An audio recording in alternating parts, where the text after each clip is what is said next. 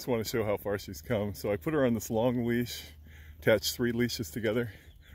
Anabelle, come. Good job.